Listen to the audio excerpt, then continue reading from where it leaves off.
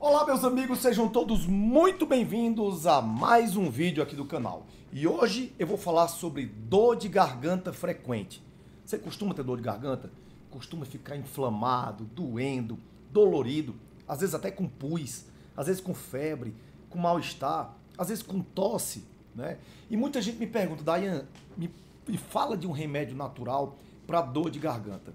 Tem gente que vive tossindo, vive com pigarro, mas a dor de garganta, meus amigos, muitas vezes, na verdade, muitas vezes não, sempre, é o sintoma de alguma outra questão que você não resolveu ainda.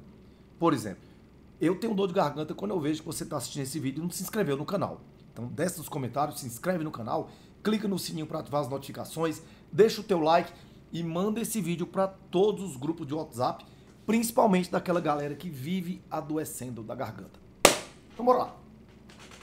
Dor de garganta pode ser principalmente uma doença muito frequente que inclusive eu tive muitos anos da minha vida. Doença do refluxo gastrointestinal. Daiane, mas me explica como é isso. Vou te explicar. Isso acontecia muito comigo, viu, gente? Eu já tive refluxo durante anos e anos e anos. Se você quiser assistir um vídeo meu sobre refluxo, escreve no YouTube Dr. Dayan Refluxo, que deve aparecer vários. Mas olha, o que é o refluxo? Quando você tem algum problema no estômago, ou falta de ácido, ou você está gordo, ou você está comendo demais, alguma questão relacionada ao sistema digestivo, ao estômago, e essa comida por acaso volta para o esôfago, que é o tubo que carrega comida da boca para o estômago, é, essa comida vem muitas vezes alcalina, porque não tem muito ácido no teu estômago, ou ela vem ácida, porque a comida está voltando. De todo jeito, ela não foi feita para entrar na garganta, para voltar, e muito menos para entrar nas vias aéreas, que é a laringe. E aí você inflama, e você irrita, e às vezes causa infecção. Por isso, quem tem refluxo, um dos sinais é você acordar de manhã com pigarro e rouco. Você acorda rouco, porque passou a noite levando banho de comida ácida nas cordas vocais. Então, nesses casos, muitas vezes esse ácido, esse conteúdo ácido alcalino, vai lá, inflama e causa tudo isso, tá bom? Outra causa de dor de garganta é a alergia, a poeira, a ácaro. Lembrando que a alergia não tem relação com bactérias nem com vírus, mas sim a hiperreatividade do sistema imune. Ou seja, teu sistema imune está atiçado, está atacando tudo, está se defendendo em exagero. E aí ele começa a inflamar tudo que é órgão. Muitas vezes você tem até um problema de, de problema intestinal e o intestino reflete em vários outros órgãos como alergia. Então, tem casos também, por exemplo, dor de garganta de gente que tem rinite. A pessoa vive entupida do nariz, vive entupida. E aí ela respira pela boca à noite, principalmente em ar-condicionado, ventilador. E o ar que entra pela boca para os pulmões, ele não é a mesma coisa do que entra pelo nariz. O ar que entra pelo nariz, ele passa por uns pelinhos. Olha o teu, teu nariz, cheio de pelinho. O nome desses pelinhos são vibriças. Essas vibriças são cabelinhos. É os pentelhos do nariz. Servem para aquecer o ar e serve também para é, para filtrar o ar, para não entrar com poeira. Deixa eu colocar aqui o carregador, viu, gente? Senão nosso vídeo vai ficar ruim. Né? Então, você que respira pelo nariz, pela boca, você tem mais chance. Pessoas que têm pólipos nasais, pessoas que têm desvio de septo, tendem a ter mais problema de garganta. Então você tem que procurar um otorrino para tratar a causa. Lembrando que tirando glúten, leite derivados, suplementando com ômega 3, tudo isso pode melhorar, tá bom? Eu não vou nem falar de quem fuma, que tosse e dor de garganta é comum em quem fuma. Então, crie vergonha e pare de fumar, tá bom? Não é só criar vergonha, é saber a estratégia também. Médico existe para isso, tá bom? Se vocês quiserem, eu faço um vídeo só para quem quer parar de fumar. Depende dos comentários de vocês, tá bom? Bom, depois de você ver esse vídeo aqui, você vai saber um remédio natural que eu vou te ensinar para você não se incomodar mais com dor de garganta. É claro que se você não tratar a causa, várias dessas aqui que eu falei, você não vai resolver, tá bom? Por exemplo, tem uma causa que é muito comum: pessoas com imunidade baixa, pessoas que gritam e falam alto demais, esse é o meu problema. Fala demais e não baixa o tom. Pessoas, gente, o emocional tem muito a ver com a garganta. Pessoas que, que é, é, não estão engolindo, entre aspas, uma situação na vida Digamos, eu não engulo essa amante do meu marido. Eu não engulo essa namorada do meu filho.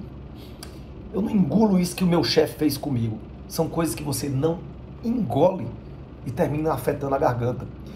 Quem estuda a questão de física quântica, de energia do corpo, sabe que alterações nos chakras também, são pontos e centros de energia do corpo, pode causar isso. Você pode até nem acreditar, não acredite em mim, vá pesquisar. Mas existe o chakra laringeu. Às vezes você está precisando harmonizar a energia no chakra laringeu. É, gente, o negócio é sério. Então, mas o que eu quero te dizer é o seguinte: é que a garganta, ela geralmente é, é um, é um local, é um indicador que o teu sistema imune não está legal. Então, claro que tem alguns casos que não são ligados ao sistema imune, como o que eu tive na minha vida, que era calos nas cordas vocais. Eu já tive, ainda hoje eu sofro com isso, porque eu sempre falei muito. Eu tive que operar minhas cordas vocais para tirar tipo uns calozinhos desses, de tanto usar. Né? Zezé de Camargo teve isso também. Mas se você for refletir, uma pessoa que tem calo nas cordas vocais é porque ela está falando muito. Se ela está falando demais, das duas, uma. Ou ela tem problema emocional para falar demais, ou ela está trabalhando demais. E eu tinha os dois. Então termina que a imunidade também está baixa. Né? Então, assim, tem garganta que dói demais, tem garganta que dói quando engole, mas o bom é que a natureza está cheia de alternativas que ajudam a tratar a garganta e melhorar a imunidade. Então, anota aí a receita que eu trouxe para vocês. Primeiro ingrediente é o mel. Se você não lembrar, você volta o vídeo anotando. Mel de abelha. Você vai pegar um potezinho de vidro, vai colocar 3 colheres de sopa de mel de abelha. Bem cheias mesmo, tá bom? Segundo ingrediente, própolis. Própolis, ah, mas própolis tem sabor ruim. Isso é remédio, não é milkshake. Mas própolis é antifúngico, antibiótico, anti-inflamatório. Própolis é uma substância que a abelha tira lá da seiva das árvores e faz o reboco da colmeia. E esse reboco tanto isola, protege a colmeia fisicamente, né, de vento, de chuva, de outras coisas, como protege de bactérias e fungos e vírus. Então, é, a planta ela produz, produz tudo isso para se defender desses fungos, dessas bactérias. Então, a, a abelha traz isso para a gente. Né? Então, segunda coisa é própolis. 35 gotas você vai colocar nessa mistura. Terceira é uma colher de café de gengibre em pó. O gengibre também é anti-inflamatório e analgésico. Ele tem uma substância chamada gingerol que dá tudo isso. E você vai acrescentar também dois dentes de alho picados. Você vai pegar dois dentes de alho, tirar a casca, picar e amassar. Olha por que amassar? Você vai amassar e vai deixar ali descansar por 10 minutos. Por quê? O alho ele tem duas substâncias que quando são misturadas e picadas, elas estão em lugares diferentes do dente. E você deixa ali por 10 minutos, forma uma pasta. E essas substâncias formam outra, chamada de alicina, que é um antibiótico, que é um empurrão para o seu sistema imunológico. O alho ele fica mais picante, inclusive, mas você se acostuma. Então o que, é que você vai fazer? Vai pegar essa mistura de mel, própolis, né? mel, própolis, alho e gengibre e vai deixar na geladeira, tá certo? Todas as vezes que você for usar, você vai tirar da geladeira, vai pegar essa mistura que vai estar tá mais dura e gosmenta e vai tirar ali mais ou menos uma colher de sobremesa e vai colocar num copinho ou numa xícara e vai derreter ali no banho-maria para ficar bem líquido e morno. Quando tiver derretido no banho-maria, líquidozinho e morno, você acrescenta uma banda de limão espremido. Certo? O limão tem vitamina C, que é antioxidante e melhora a imunidade.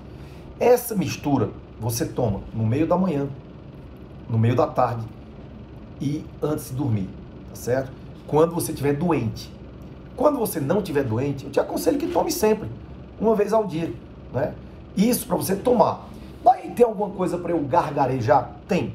Você vai gargarejar vinagre de maçã, uma colher de sopa de vinagre de maçã em um copo d'água morna, tá certo?